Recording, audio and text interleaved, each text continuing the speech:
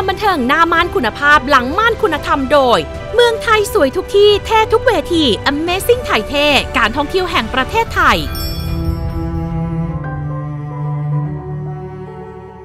เหมือนกับรางวัลต่อไปนี้ครับ เราจะประกาศในค่ำคืนนี้นะครับ เพราะน้อยน้อยคนมากครับ จะประสบความสำเร็จจากการบินเดี่ยวนั่นเองนะครับ ส่วนใหญ่จะต้องมีใครสักคนที่คอยสนับสนุนผลักดันให้โอกาสและคำแนะนำอยู่ข้างหลังเสมอ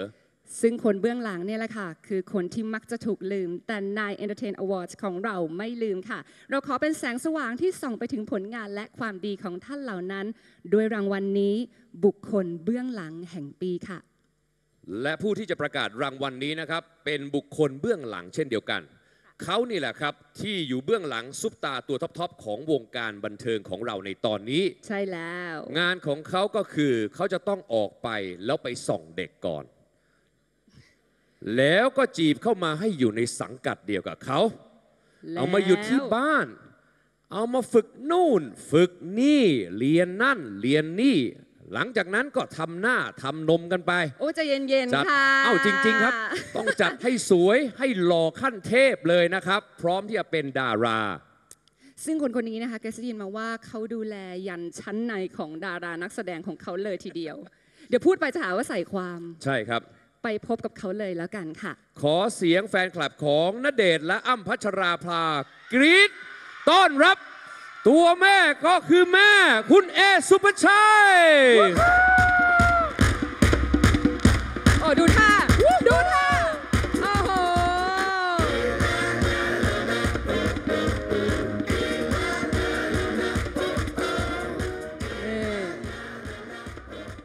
สวัสดีแขกผู้มีเกียรติทุกท่านนะครับ ตื่นเต้นทุกครั้งเลยครับที่ได้มาอยู่ณที่แห่งนี้นะครับ ก็ต้องขอขอบพระคุณเสียงกรี๊ดจากแฟนคลับน้องนาเดชน์แล้วก็น้องอ้ำพัชราภาด้วยนะคะ และแฟนคลับของน้องๆทุกคนด้วยนะครับ สวัสดีครับพี่วิลลี่ สวัสดีครับพี่เกรซนะครับ สวัสดีครับ สวัสดีค่ะ ชุดเบามากนะครับพี่เอครับ พอดีเตรียมตัวไม่ค่อยทันนะคะเลยครับแต่งตัวผม น้อยไปหน่อย นะครับ วันนี้พี่เอก็รู้สึกดีใจมากนะครับ ที่ได้มาประกาศรางวัล บุคคลเบื้องหลังแห่งปี ซึ่งเป็นรางวัลที่ตัวเองก็อยากได้เหมือนกัน หรือว่าพี่เอจะเปลี่ยนชื่อในซองนี้ดีไหมครับ เป็นชื่อตัวเองโอ้โหถ้าจะไม่ดีนะครับครับนะครับ อย่างนั้นนะครับพี่เอก็ ประกาศรางวัลได้เลยใช่ไหมคะ ได้เลยครับ นะครับเรื่องเรื่องที่ตรวจสอบทุกอย่างของเอ่อเด็กในสังกัดนี่จริงหรือเปล่าฮะถึงกางเกงในเนี่เอยอไม่จริงค่ะ คือเราดูแลเรื่องบุคลิกภาพ ครับ เสื้อผ้าหน้าผมอะไรอย่างเงี้ยค่ะแค่นั้นนะครับ อ่านะคะหัวเราะหัวเราะรถยังไงหัวเราะไม่รู้หัวเราะให้กับตัวเองก็ไม่รู้ ถามพี่ณเดชน์ได้นะครับ เหมือนพี่ณเดชน์นั่งอยู่ใกล้ๆใช่ไหมครับ อ่าไม่จริง อ่า เข้าเรื่องดีกว่าครับ ไม่จริงครับพี่ณเดชน์ครับ ครับ เขินเลย ผู้ที่ได้รับรางวัลบุคคลเบื้องหลังแห่งปี ใน Entertain Award 2018 ได้แก่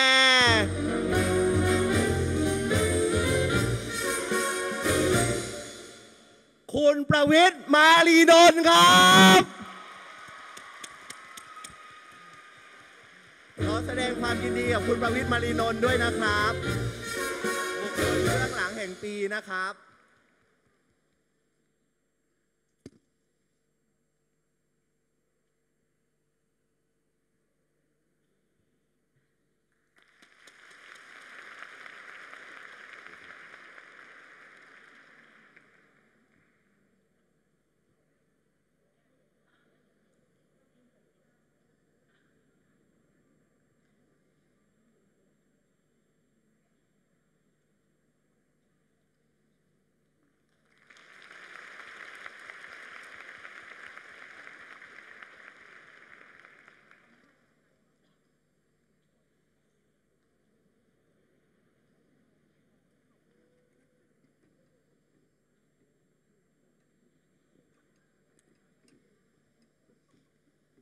ท่านผู้มีเกียรติ ท่านผู้ชมทั้งประเทศที่เคารพทุกท่านครับ มีคนสอนกับผมไว้ว่า ความฝันก็ยังเป็นความฝัน ถ้าเราฝันคนเดียว ความฝันจะเป็นจริงได้ ถ้าพวกเราฝันร่วมกันท่านผู้มีเกียรติครับ งานของช่องสามทุกชิ้นนะครับ ไม่ว่าจะเป็น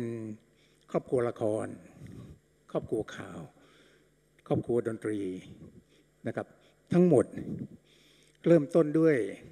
การที่บุคคลเบื้องหน้า และบุคคลเบื้องหลังมาฝันร่วมกัน พวกเราตระหนักดีว่า เป็นไปไม่ได้ครับที่บุคคลเบื้องหน้าก็ดี บุคคลเบื้องหลังก็ดี คนใดคนหนึ่ง จะสามารถฝันคนเดียว และสร้างความสำเร็จขึ้นมาได้ เมื่อเราฝันตรงกันแล้ว บุคคลเบื้องหน้าก็จะลงมือทำงานด้วยความตั้งใจนะครับ แล้วก็มุมานะสุดกำลังนะครับ อย่างไรก็ตามแม้ว่าเราจะมุมานะแค่ไหนนะครับ แต่ว่าเราไม่สามารถที่จะกำหนดความสำเร็จของงานของเราได้ ความสำเร็จของงานของเรานี่นะครับกับเป็นท่านผู้ชม เป็นคนกำหนดนะครับ แล้วก็ขอแสดงความยกย่องช่องเก้าในฐานะที่เป็นผู้เสียสละจัดงานนี้ขึ้นมา เพื่อประโยชน์ของวงการบันเทิงโดยแท้นะครับ งานคืนนี้เพื่อนทำเพื่อเพื่อนครับขอบคุณครับ ขอแสดงความยินดีด้วยนะครับ และท่านก็คือผู้ใหญ่ที่บ่มเพาะต้นกล้าคุณภาพไว้มากมายเลยทีเดียวนะครับ แล้วต้นกล้าเหล่านั้นก็ค่อยๆ แตกหน่อต่อยอดเป็นบุคลากรคุณภาพของวงการจากรุ่นสู่รุ่นจริง ๆ ครับใช่ค่ะนะฮะผมก็เป็นหนึ่งในต้นกล้าเหล่านั้นนะฮะแล้วก็กี่ปีมาโตแล้วขึ้นคะมานะฮะตอนนี้เป็นต้นใสแล้วนะฮะนะฮะอยู่มานานมากนะฮะ ขยับมาที่รางวัลต่อไปครับ เป็นรางวัลที่ไม่ค่อยมีเวทีไหนเนี่ยนะครับเขาจัดกันแล้วก็ให้กันนะครับ แต่นายเทนสวอร์ดนะครับ เห็นแก่คนคนเหล่านี้นะฮะ เพราะว่าคนคนหนึ่งเนี่ยนะครับจะเป็นตัวของตัวเองขึ้นมาแล้วก็จะมีฝีมือขนาดไหน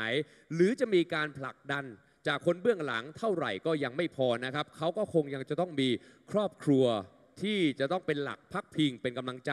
เหมือนกับโอเอซิสนะครับกลางทะเลทรายของพวกเขา เพื่อเขาจะได้มีแรงที่จะสู้ชีวิตกันต่อไปนะครับ รางวัลต่อไปคือรางวัลครอบครัวแห่งปีครับ ค่ะและผู้ประกาศรางวัลนี้นะคะ ต้องบอกว่าออร่ามาเต็มทั้งคู่เลยค่ะ ใครมีโทรศัพท์ก็เตรียมกล้องไว้นะคะ ถ่ายรูปแล้วแชร์ในโซเชียลนะคะ ก็อย่าลืมติด hashtag 9 entertain awards 2018 กันด้วยค่ะ แต่เขาฝากมาบอกว่าห้ามบันทึกวิดีโอและไลฟ์เด็ดขาดนะคะ เพราะว่าทุกอย่างมีลิขสิทธิ์ค่ะ นะครับก็ตัวใครตัวมันนะครับ เรื่องของรายการของพวกเรากันเองนี่ก็โอเค แต่เรื่องของใช่ เพลงนี่ อันนี้ก็แล้วแต่ท่านนะครับ นะฮะ ก็ขอให้โชคดีนะครับ แล้วตกลงว่าใครจะเป็นผู้ประกาศรางวัลครับน้องเกรซเป็นแฟนของดิฉันเองค่ะ เอ้า เดี๋ยวเดี๋ยวเดี๋ยวเดี๋ยวไหนบอกว่าเพิ่งโสดไม่ใช่เหรอก็โสดค่ะ แล้วก็จะเปิดตัวแฟนใหม่ที่นี่เลยค่ะ ตอนนี้เลย เอาเอาทำอย่างนี้ก็ได้เหรออะอยากจะรู้ตัวเขาแล้วเรียกแฟนมาเลยครับ แฟนจ๋ามาเลยค่ะ เฮ้ยเดี๋ยวเดี๋ยวเดี๋ยวเดี๋ยวเดี๋ยวเดี๋ยวคุณขี้ตู่คุณไปเรียกเขาแบบนี้ไม่ได้นะครับเขาเป็นหนุ่มทำไมคะ ที่มีดีกรีเป็นสามีแห่งชาติเขาเนี่ยมีแฟนอยู่ทั่วบ้านทั่วเมืองเกรซจะมายึดครองเขาคนเดียวเนี่ยพี่ไม่ยอม แต่ไปพบกับเขาเลยนะครับ คุณนายนภัสและสมุน หัวหน้าแก๊งตักไลฟ์น้องวันใหม่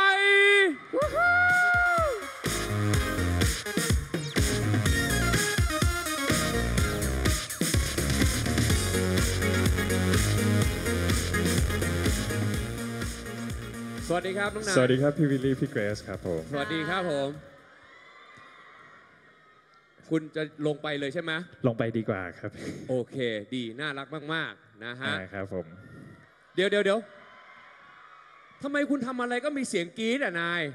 ทำไมคะทำไมทำไมเป็นอย่างนั้น ทำไมต้องอิจฉาคะทำไม ไม่รู้เหมือนกันเนี่ย เดี๋ยวนี้อาการออกชัดมากเลยอะเออเออคุณน้องน้องวันใหม่ครับเออขอถามนิดหน่อยครับว่าเฮียบอยประกรณ์เขาไปไหนครับทำไมคุณมาคนเดียวครับเนี่ยเอ่อ ติดสาวค่ะ ติด เอ๊ะ เอ่อเอาละ ติดสาวอยู่ใช่ไหมวันใหม่ ใช่ค่ะแล้วแล้วสาวชื่ออะไรลูก แค่บอยบอกว่าห้ามบอกค่ะ เป็นความลับระหว่างพี่เป็นน้อง เป็นความลับระหว่างพี่น้อง ก็เลยไม่มาก็เลยต้องให้ให้คุณนายพานมาเอง แค่นั้นเองนะฮะ ไม่วับนอก ใหม่แล้วถามจริงๆก็ตอบพี่ตรงๆนะว่าเฮียบอยกับพี่นายใครหล่อกว่ากันคะ พี่นายค่ะ นี่ไงคุณ เด็กเขาตอบไม่คิดเลยอันนี้ตอไม่บเร็วมาก ไม่ได้เตรียมคำถามนี้มานะครับใช่ไหมอ่า วันไหนไม่มีใครเตรียมใช่ไหมอ้าวหน่านิ่งด้วย เด็กไม่โกหกอยู่แล้วนายครับอ๋อครับนะผมฮะ ครับก็สำหรับผมนะครับอ่า ปีนี้เป็นอีกปีหนึ่งนะครับที่ได้มามีโอกาสเป็นส่วนร่วมของงานนี้นะครับ และปีที่แล้วนะครับผมกับคุณแม่ก็ได้มีโอกาสได้รับรางวัลครอบครัวแห่งปีนะฮะก็ถือเป็นเกียรติของผมและครอบครัวครับที่ได้ขึ้นมาประกาศรางวัลนี้อีกทีหนึ่งนะครับประกาศเอาเลยไหมด้ใช่ครับให้วันใหม่ประกาศไหมเอาไหมอ่าวันใหม่โอเคโอเควันใหม่กับให้ให้พี่นายประกาศแล้วกันนะ วันใหม่กับผมตื่นเต้นครับเมื่อตื่นกี้เต้นใช่ไหมครับน้องแบบสั่นอยู่ข้างหลังเวทีครับเตอนนี้พีก็เริ่มสั่นแล้วน้องวันใหม่ ครับผมสำหรับผู้ที่ได้รับรางวัลครอบครัวแห่งปี Nine Entertain Award ปี 2018 ได้แก่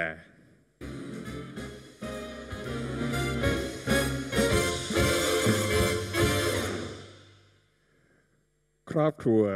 จัญญาธนากรครับ พี่ฝัน ดีฝันเด่นค่ะ ฝันดีฝันเด่นครับ โอ้โห ยินดีด้วยจริง ๆ เชิญขึ้นมาบนเวทีเลยครับ ครอบครัวแห่งปีของเราในปีนี้ค่ะ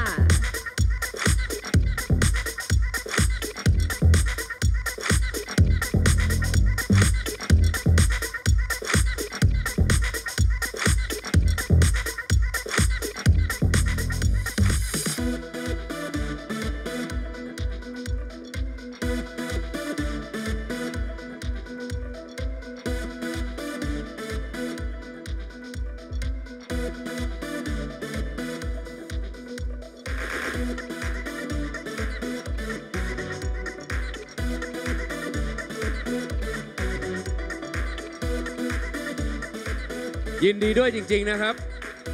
นะฮะต้องต้องขอแสดงความยินดีกับคุณฝันดีฝันเด่นนะครับคุณใหญ่และคุณเล็กนะครับ พวกเขาดีจริง ๆ นะฮะค่ะแล้วก็ NineEntertain ก็เล็งเห็นถึงคุณภาพที่เขาเนี่ยสมัยก่อนเนี่ยเขาเขาเรียกกันว่าแฝดนรกนะอะ เพราะฤทธิ์เยอะมากๆนะฮะสมัยก่อนแต่ว่าเดี๋ยวนี้เขาเป็นแฝดอาสาแล้ว นะฮะแล้วก็มาคุยกับผมหลังเวทีบอกว่าว่าอะไรเอ้ยคะ ทาง NineEntertain Award เนี่ยเขาจะทำมา2อันหรือเปล่า เพราะว่าคุณแม่คุณพ่อเคยบอกไว้แล้วว่าเฮ้ยถ้าเกิดว่าเป็นแฝดเนี่ยมันต้องได้ทุกอย่างเท่าเทียมกันนะฮะงั้นไปดูดีกว่าว่าเขาจะแบ่งรางวัลนี้กันยังไงเชิญคุณข่าวจะแบ่งกันยังไงเล็น้อคุณลองบอกสิอะอะเชิญ นี่ยังเกี่ยงกันเลยนะฮะ เกี่ยงกันเลย นะเรามีไม้ถึง 2 อันให้คุณครับนี่เชิญไงเลยครับคะพูดพร้อม ๆ กันก็ได้ครับ ก็ก็ คนละครั้งคนละครั้งเอิ่มได้ชิ้นเดียวใช่ไหมครับครับใช่ต้องการฮะให้สองชิ้นทำไมครับ เดี๋ยวผมให้คุณอีก 75 สตางค์แล้วก็ไปร้านซีล็อกได้เลย ก็ยินดีนะครับแล้วก็รู้สึกเป็นเกียรติมากครับที่ได้รับรางวัลนี้นะครับ ได้รับการติดต่อกันมา ซึ่งผมก็รู้สึกตื่นเต้นนะครับกับรางวัลนี้ ไม่คิดว่า สิ่งที่ทำมาตลอดชีวิตนะครับ จะมีคนมองเห็นนะครับ แล้วก็มีคณะกรรมการที่บอกว่าเป็นมติเอกฉันท์ในการมอบรางวัลนี้ให้กับเรานะครับอ่าฮะในส่วนตัวผมเองก็รู้สึกดีใจนะครับ จริง ๆ ก็วันนี้ตั้งใจที่จะมาแล้วก็รู้สึกดีใจด้วยนะครับ ที่ได้รับรางวัลนี้ส่วนข้างๆนะครับที่เห็นอยู่นะครับ ทุกคนคงเห็นนะครับ ไม่ใช่กุมารนะครับ ก็คือลูกชายกับลูกสาวผมเองนะครับ ในนามของเอ่อครอบครัวจันยาธนากรก็มาร่วมในครั้งนี้นะครับ แล้วก็รู้สึก ยินดีอย่างมากแล้วก็ได้รับเกียรติครั้งนี้จากที่ได้รับรางวัลในในครั้งนี้นะครับอือฮึส่วนครอบครัวผมนะครับ น้องฮานิไม่ได้มาอายุ 8 ขวบจะ 9 ขวบนะครับ ตอนนี้รับงานแสดงได้แล้วครับนะฮะ อืมฝากงาน ก็ยังยังไม่ได้หรอกครับก็พูดเล่นนะครับ แต่ถ้าเกิดมีเดินแบบร้องเพลงพอได้นะครับ ครับ ไม่จบ แต่แต่ถ้าเป็นเอ่อการแสดงนะครับ ลูกชายกับลูกสาวผมก็พร้อมแล้วครับ อย่าแย่งกันค่ะดีมากนะะครับ ฝากไว้เลยครับ ฝากไว้เลย อันนี้ก็เป็นลูกสาวนะครับ ก็จะเรียนจบแล้วนะครับ ก็ต้องเอ่อทำมาหากินแล้วนะครับ เพราะว่าตัวพ่อก็ทำงานมาเยอะพอสมควรต่อไป ลูกต้องดูแลตัวเองนะครับ ทั้งสองคนเลยครับ แล้วคนนั้นพูดไทยได้เปล่าพูดได้สิ ชื่อเจแปนนะครับ ก็ไม่มีอะไรก็กลับมาสู่เรื่องของเราดีกว่านะครับครับ ก็พูดไปก็ไม่มีอะไรมากนะครับ ก็ติดต่อผมโดยตรงนะครับ ผู้จัดการส่วนตัวยังไม่มีนะครับเท่านี้เองนะครับ ส่วนรางวัลที่ได้รับนี้ก็เป็นส่วนหนึ่งนะครับ แบ่งกันสิเขาให้คู่กันนะครับ เดี๋ยวแบ่งกันคนละครึ่งนะ เดี๋ยวจริงๆเดี๋ยวเหรอเดี๋ยวครัเราบทำให้อีกอันแล้วกัน จะได้ไม่ต้องแย่งกัน หรือว่าจะยังไงคุณคุณจะไว้ที่บ้านคุณสัก 15 วันแล้วก็ย้ายไปบ้านเขา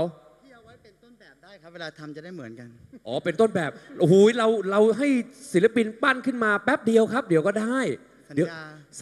โอ้โหสัญญาไม่งั้นมีเรื่องกันแน่เลยนะทำไมแย่งกันใช่ไหมแย่งกันเพราะว่าอยากได้มากเลย อยากได้มาก เดี๋ยวก็เดี๋ยวผัเราดทำการผัดกันคนละเดือนไงคะ แล้วก็ถ้ายังโฆษณาไม่จบแนะนำว่าให้ทิ้งเบอร์โทรศัพท์ไว้เลยนะคะ นะฮะ 0 9 9 1 7เฮ้ยไม่ต้องบอก แล้วกลับเข้าเรื่องเราดีกว่านะครับ ก็ขอขอบคุณนะครับรางวัลครอบครัวแห่งปีนะครับ ซึ่งครอบครัวของเราเนี่ยก็เรียกว่าช่วยเหลือแล้วก็สนับสนุนมาโดยตลอดนะครับ บางครั้งอยู่ในในสิ่งที่เรียกว่าอันตรายนะครับเขาก็ให้กำลังใจแล้วก็คอยเป็นห่วง ไม่ว่าบางทีนะครับ ไม่ว่าจะตึกถล่มหรือว่าไงที่เราได้เข้าไปไปทำอะไรต่างๆ อย่างน้อยเนี่ยเราก็รู้ว่าเขาเป็นห่วง แต่สิ่งที่เขาบอกกับผมอยู่เสมอเลยนะครับ ว่าสิ่งไหนที่ป้ารักและชอบ ทำให้เต็มที่แต่ขอให้ดูแล เพราะว่าอย่างน้อยๆเนี่ยยังมีพวกเขาอยู่นะครับให้กำลังใจเวลาท้อเนี่ยพวกเขาอะก็จะมายืนอยู่ข้างๆอยู่เสมอ ก็ขอกราบขอบพระคุณนะครับ ประชาชนทุกคนนะครับ รวมถึงเพื่อนๆในวงการบันเทิงนะครับ ที่ได้มาช่วยเหลือในกิจกรรมต่างๆนะครับ ที่พวกเราได้ทำไปผ่านมา 4 ปีในในถึงวันนี้นะครับ ก็เรียกได้ว่า ทำให้ทุกคนได้เห็นแล้วว่าการเป็นจิตอาสาเนี่ยเป็นอย่างไรการเสียสละนะครับ และรางวัลนี้เนี่ยก็อยากจะฝากถึงนะครับ เพื่อนๆอีกหลายร้อยหลายแสนครอบครัวนะครับ ที่มาร่วมกันเวลาผมทำกิจกรรมอะไร พวกเขาก็มาอยู่เสมอ ก็ขอมอบรางวัลนี้ให้กับทุกคนเช่นกันนะครับ ขอบคุณมากครับ ค่ะยินดีด้วยนะคะ ถือว่าเป็นครอบครัวตัวอย่างเรื่องการอุทิศตัวทำความดีเพื่อผู้อื่นค่ะ ซึ่งบ้านนี้เขากก็ทำมานานแล้วนะคะทำแบบเงียบๆแต่อย่างที่บอกค่ะ คนดีทำความดีตรงไหนก็ย่อมมีคนเห็นค่ะ จริง ๆ ครับ เดี๋ยวนี้คิดอะไรไม่ออกโทรหาใหญ่โทรหาเล็กได้เสมอนะครับ จริงเหรอคะจริง ๆ ครับมีเอ่อตัวเงินตัวทองลงบ่อปลาคาร์ฟผมผมก็โทรมาให้เขาแบบมาช่วยจับหน่อยอะไรเงี้ย นี่เรื่องจริงใช่ไหม เรื่องจริงเรื่องจริงไม่ได้มันว่ายว่ายไปว่ายมาเราจับเองไม่ได้ไงอ๋อ ก็ต้องเขาก็ส่งลูกน้องมาทุกครั้งที่ช่วยกันคือตเห็ลนอดว่าเหมาะกับเขาหรือยังไง ไม่ไม่เขาเขาอาสามามีลูกน้องอ๋อ ลูกน้องมาช่วยได้ตลอดนะครับ ดังนั้นคุณผู้ชมนะครับ ถ้าเกิดว่ามีปัญหาอะไรก็แล้วแต่โทรหาเขาทั้งสองคนได้เลย เขาพร้อมช่วยเสมอนะฮะ แล้วก็เอาละค่ะ สำหรับเขากับวงการบันเทิงก็อย่าลืมนะครับ ลูกเขาโตเล่นได้แล้วนะฮะ ทั้งสองครอบครัวเลยครับ ไปกันที่รางวัลต่อไปค่ะ เป็นรางวัลที่เรากำลังทำหน้าที่กันอยู่นี่แหละ ครับ รางวัลพิธีกรแห่งปี ซึ่งพี่วิลลี่ก็เข้าชิงด้วยอะ โอ้ ขอบคุณมากครับผม มาแล้วมาแล้วมาแล้วค่ะนะฮะ มาแล้วแต่ก็เป็นที่ภาคภูมิใจอย่างแน่นอนนะครับ ว่าแต่ละค่ะคนนั้นใครเข้ามาชิงกันบ้างนี่ ตื่นเต้นเร้าใจทั้งนั้น เด็ดๆทุกคนค่ะ และผู้ประกาศรางวัลนี้นะคะ เขามาแบบแซนด์วิชค่ะ คือประกบ 3 เลยทีเดียว ขอเสียงกรี๊ดดัง ๆ ต้อนรับ ฮั่น อิสริยะ ไมค์พัทรเดช และบุโกะ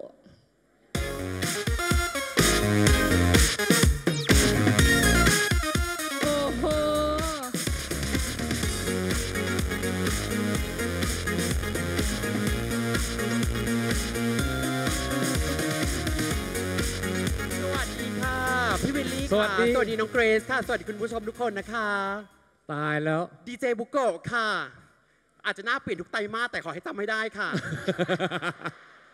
สวัสดีครับ ผมฮันอิสริยะครับผม สวัสดีครับ ผมไม้พัทรเดชครับผม ต้องขอบคุณทุกๆคนมากๆเลยนะคะ ที่มาร่วมงานแต่งงานของเรา 3 คนค่ะ ถึงแม้ว่าเจ้าบ่าวจะหน้าไม่รับแขกเลยก็ตามค่ะ อันอันนี้ไม่ได้นัดกันก่อนนะฮะเอ่อเอาเป็นว่าผมว่าเดี๋ยวเราประกาศชื่อเลยดีกว่าไหมครับ อย่าพึ่งสิ ทำไมพี่ต้องอะถามก่อนว่าความรู้สึกของน้องไม้พัทรเดชเนี่ยนะคะ ปีนี้เนี่ยเขาก็ได้เข้าชิงรางวัล นักแสดงชายแห่งปีเหมือนกัน รู้สึกยังไงบ้างคะ ก็ดีใจมากนะครับ จริง ๆ แล้ววันนี้เนี่ยถึงไม่ได้ก็ถือว่าทำดีที่สุดแล้วครับ หล่อทั้งเสียงและหน้าตามาก ๆ ค่ะ น้องฮันคะ น้องฮันก็เคยเข้าชิงรางวัลเหมือนกันขวัญใจมหาชนเมื่อหลายปีก่อนรู้สึกยังไงบ้างคะ คือมันจะเกือบดีแล้วนะฮะ ไม่น่ามีคำว่าหลายปีก่อนเลยนะครับผม เอาเอาเป็นว่าไม่ต้องพูดถึงมันดีกว่านะครับค่ะแล้วพี่บุโกะครับ เคยค่ะมีชื่อเข้าชิงไหมครับ เจ็บตรงนี้ คือถ้าเกิดฮันพูดอย่างนี้เหมือนฮันลากพี่มาตบกลางศูนย์วัฒนธรรมอะค่ะ เอาเป็นว่าเราประกาศรางวัลกันเลยดีกว่านะคะ ค่ะ และรายชื่อผู้ที่เข้าชิงรางวัลพิธีกรแห่งปี มีดังต่อไปนี้ค่ะ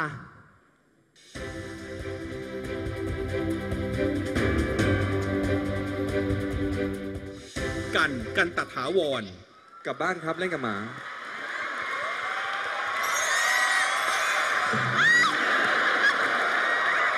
เอานะครับตั้งสติดีข้อที่ 11 นะครับ เสียงมาครับ นักร้องซ่อนแอบกับถูกครับ เกียรติกิจเจริญเต้นสอนเต้นสอนรามได้ปะดูอายุเขาด้วยตอนเด็กผมอยากเป็นอะไรคุณรู้ไหมเป็นอะไรพี่เป็นคนจับหมาเนี่ยรู้สึกไงเงียบๆย่องย่องๆค่อยๆย่องเข้าไป บางทีก็เป็นแหกได้เลยปนัดดาวงผู้ดีมาก เข้ามาเป็นตัวเลือกก็เยอะมาก ถ้าสื่อ ไม่สนใจถึงขนาดยกไม้หนีแบบเมื่อวานนี้แล้วน้องจะอยู่ยังไงฉันเป็นโรคเข้าข้างผู้หญิงฉันไม่ฟังคุณถามนิวเลยดีกว่า วันนั้นพ่อใช้คำรุนแรงไหมมีความหวังแค่ไหนกับการให้เขากลับมาแข็งแรงไม่มีแล้วค่ะกันชัยกำเนิดพลอย นั่นแน่เออเออบอกว่า ห้ามเข้าห้องหมา ถามจริงเหอะ อยู่กัน 3 คนเนี่ยมันใช้บ้านหลังใหญ่ เนื้อที่มันมันใช้ได้ทั้งหมดจริงๆเหรอฮะ ที่โรงพยาบาลแห่งนั้นเขามีแผนกเอ่อเรียกว่าเป็นเป็นของเด็กโดยเฉพาะไหมไม่ค่ะไม่มีค่ะไม่มีนะก็ฉุกเฉินไม่มี ฉุกเฉินไม่มี ที่ไปที่ไปฉุกเฉิน ค่ะ แต่เราไปตอนกลางวันไปฉุกเฉินเหรอ ค่ะกลางวันก็ไปฉุกเฉิน วิลลี่แมคอินทอช หนูหนูดีกว่าสีแดงเอาเลยเอาเลย หนูหนูไปไหนอะ คุณจะเจอกับสามีผู้ท้าชิง ที่มีคติพจน์ประจำใจว่านักเลงมีไว้คุมบ่อนหัวขี้อ้อนมีไว้คุมเมียเสียงบ่นมาจากลูกค้าประจำของเราบอกว่ามองไม่ค่อยเห็นเลยเคาน์เตอร์จะบังหมดแล้ว เราจะอนุญาตให้พวกคุณเนี่ยเดินผ่านอาหารเหล่านี้หนึ่งรอบมาเลยมา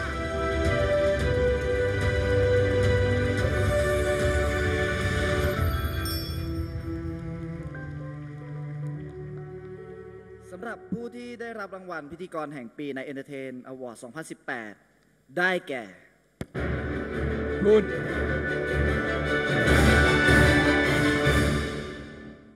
ดีเจบุกโกะค่ะ อะไรคะอย่างนี้ก็ได้เหรอก็ไม่เคยได้รางวัลเลยอยากประกาศชื่อตัวเองบ้างอะไม่ได้ใช่ไหมคะไม่ได้ครับงั้นขอดนตรีไม่ครับ งั้นขอดนตรีใหม่อีกรอบขอโทษค่ะขอโทษ ไม่ครับเอาผมได้ประกาศเลยครับคุณประกาศเถอะค่ะดิฉันก็โดนตบค่ะ มานี่ครับ พี่มาอยู่กับผมดีกว่าครับอะผู้ที่ได้รับรางวัลพิธีกรแห่งปี NineEntertain Award 2018 ได้แก่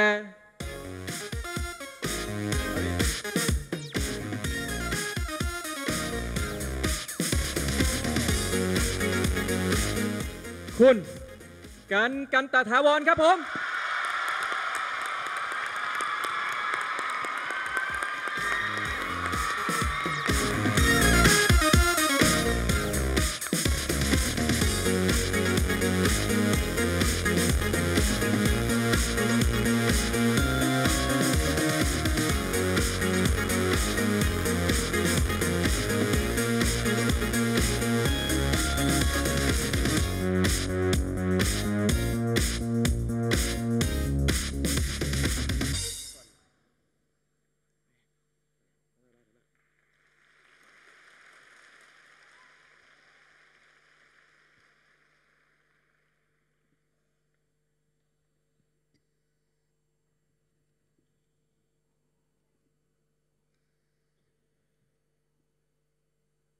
สวัสดีครับ ผมกันกันตถาวรนะครับ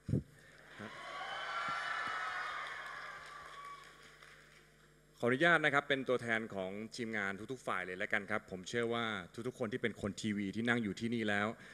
น่าจะทราบว่าการเป็นฟันเฟืองแค่ฟันเฟืองเดียวมันคงไม่สามารถทำให้ชิ้นงานนั้นๆ มันสำเร็จได้นะครับ รายการทุกรายการที่ผมได้ทำครับ เกิดจากการเตรียมงานเป็นระยะเวลากว่าปี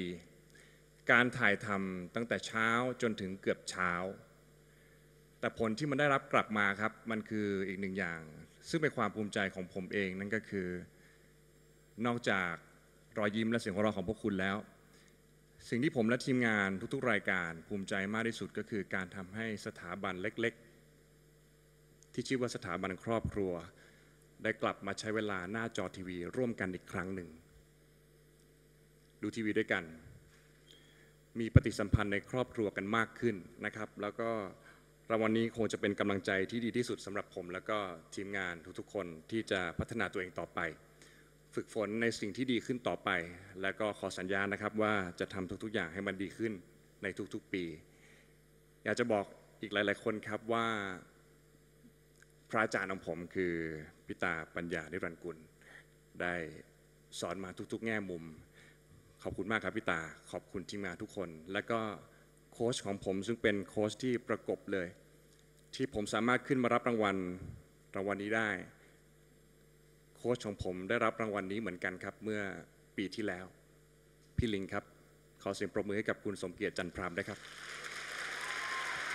ยินดีด้วยครับคุณกันครับ สุดยอดมาก ๆ เลยทีเดียวสุดค่ะยอดพิธีกรแห่งปีนะครับ จากนายเทนสวอร์ดนะครับ 2018 ไปแล้วครับ ใช่ค่ะ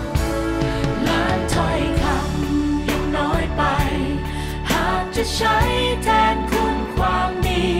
จากในทุกนาที